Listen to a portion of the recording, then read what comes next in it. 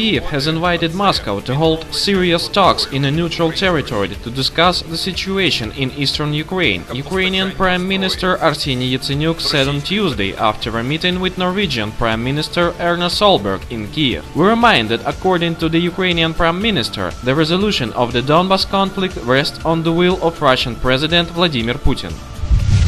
Seeking the ways out of blockade, DPR governments mulling the bi-currency system implementation. Since Kiev has refused any payments to people living in DPR and LPR, the local authorities are seeking the ways out. For the moment, the resolution is seen in implementation of the bi-currency economical system, when Russian ruble would be used alongside Ukrainian hryvnia.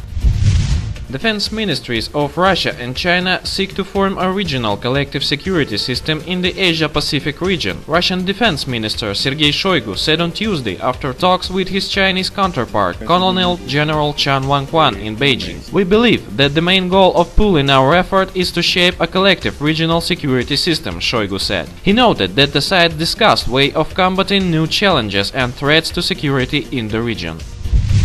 Russian sailors are continuing their training for the Mistral-class helicopter carrier in the French city of Saint-Nazaire. French Foreign Ministry spokesman Romain Nadal said Tuesday. As far as I know, the Russian sailors are continuing their training. Their preparations go on, Nadal said at briefing. On Monday, French newspaper Quai Français reported that the future Russian crew of the French-built Mistral carrier Vladivostok, which is undergoing the training in France, have been refused to access the ship. The decision has allegedly been taken by the French authorities. Thanks for watching. Subscribe to our YouTube channel to receive up-to-date news on situation in Ukraine.